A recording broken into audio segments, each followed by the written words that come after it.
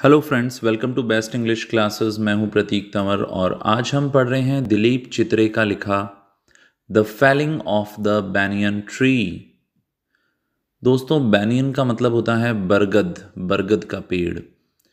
ये पोएम उस समय लिखी गई जब उनके परिवार के इतिहास में एक बहुत बड़ा डिसीज़न लिया गया उनके पापा के द्वारा कि जो पहाड़ी पे पुराने मकान हैं, उनको गिरा दिया जाए। और एक बहुत ही बड़ा सा पेड़ था, उसे काट दिया जाए, जो वहाँ पे कई सदियों से था। लगभग दो सदी पुराना वो मकान था। ये एक ऑटोबायोग्राफिकल पोएम है और ये उस समय की बात चल रही है, जब वो अप्रूटेड हो गए थे बड़ौदा से और अब वो एक नए शहर बॉम्बे रहने गए थे, जो आज मॉडर्न ज़माने में मुंबई के नाम से जाना जाता है।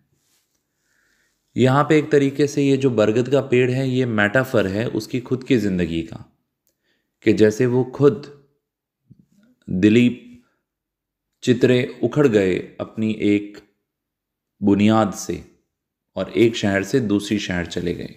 तो ये एक तरीके से पैट्रियाकल वर्सेस मेट्रियाकल थीम है। यहाँ पे पितृ सत्ता को दिखाया गया है कि उनके फादर जो हैं वो रिप्रेजेंट कर रहे हैं मस्कुलिनिटी को डोमिनेंसी को फॉरवर्ड लुकिंग को और डिस्ट्रक्टिव नेचर को। ये बुक सबसे पहले पब ये जो पोएम है, ये पब्लिश हुई थी उनकी बुक में ट्रैवलिंग इन अ केज 1980 में। और उसके बाद बहुत सारे स्कूल्स और कॉलेजेस के सिलेबस का हिस्सा है ये। उस समय ये छोटे थे और इन्होंने इसका एक्सपीरियंस देखा कि उनके साथ में क्या हुआ। किस तरीके से उस पेड़ को काट दिया गया। अब हम इसको देखते हैं, एक बार पढ़ते हैं लाइन टू लाइन। इसकी इमेजरी बहुत ही क्लियर है, हमें बहुत ही क्लियर दिख रहा है कि उनके साथ क्या हुआ है। My father told the tenants to leave who lived on the houses surrounding our house on the hill मेरे पापा ने कहा किराएदारों से कि आप छोड़ के चले जाओ उन घरों को, जो हमारे घर के आसपास थे पहाड़ी पर। One by one the structures were demolished एक के बाद एक उन स्ट्रक्चर्स को तोड़ दिया गया। ओनली अवर हाउस रिमेन्ड सिर्फ़ हमारा घर बचा। एंड द ट्रीज और वो पेड़। Trees are sacred my grandmother use to say पेड़ पवित्र हैं, मेरी दादी कहा करती थी। Felling them is a crime उन्हें काटना एक अपराध है। But he massacred them all massacre का मतलब होता है नरसंहार, काट डालना, मार डालना। पर उन्होंने किया, किसने किया? इनके पापा ने। The श्योगा, the audumbar the neem were all cut down. सभी पेड़ों को काट दिया गया। But the huge banyan tree stood like a problem. पर एक बड़ा सा बरगद का पेड़ वहाँ पे एक परेशानी की तरह खड़ा दिख रहा था। Whose roots lay deeper than all our lifes जिसकी जड़ें हमारी ज़िंदगी से भी ज़्यादा गहरी थी।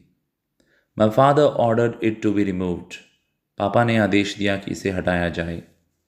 The banyan tree was three times as tall as our house हमारे घर से तीन गुना ज़्यादा बड़ा था। Its trunk had a circumference of fifty five fifty feet पचास फीट की उसकी परिधि थी, उसके तने की।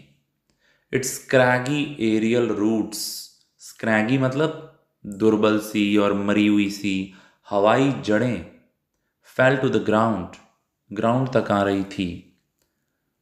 उन्हें काट दिया गया।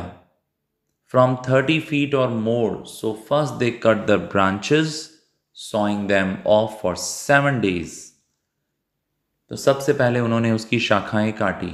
और उसको सौ करते रहे, सौ यानी आरी चलाना सात दिनों तक। And the heap was huge और ढेर बहुत ही बड़ा था। Insects and birds began to leave the tree कीड़े और चिड़िया ने शुरू कर दिया था पेड़ को छोड़ना। And then they came to its massive trunk फिर वो उसके बड़े से तने पर आए, उसके मुख्य तने पर। Fifty man with axes chopped and chopped पचास लोग कुल्हाड़ियों के साथ उसे काट डाला काट डाला। The great tree revealed its rings of two hundred years जब आप पेड़ को काटते हैं तो उसका तना कटने के बाद उसमें हमें अंदर रिंग्स दिखती हैं, जिन्हें हम एन्यूलर रिंग्स कहते हैं, क्योंकि वो साल में एक बनती है। तो किसी भी पेड़ को काटने के बाद उसकी रिंग्स को गिनकर आप बता सकते हैं कि वो साल कितना पुराना है। तो उसमें 200 साल की रिंग्स थी। We watched in terror and fascination this slaughter हमने देखा डरते हुए और आश्चर्य के साथ इस स्लॉटर को। स्लॉटर हम लोग जैसे कसाई जानवर को मार देता है इस तरीके से स्लॉटरिंग करना। As a raw mythology revealed to us its age एक प्राचीन माइथोलॉजी ने, यानी पौराणिक कथा ने हमें बताया उसकी उम्र के बारे में। Soon afterwards we left Baroda जल्दी ही उसके बाद हम बड़ौदा छोड़ के चले गए for Bombay where there are no trees except the one which grows and seeds in one's dreams जहाँ पर पेड़ नहीं हैं, सिवाय उसके जो किसी के सपनों में उगते हैं और दिखते हैं। Its aerial roots looking for the ground to strike और उसकी हवाई जड़ें ढूंढ रही हैं ज़मीन को। टच करने के लिए। सो so, ये पोएम थी जहाँ पर कि हम देख रहे हैं फैमिली रूट्स कट गई हैं। बड़ा एक ड्रास्टिक एक्शन लिया उसके पापा ने अपनी पुश्तैनी ज़मीन के ऊपर से उन पेड़ों को तोड़ना काटना। आई होप ये आपको समझ में आ गया होगा।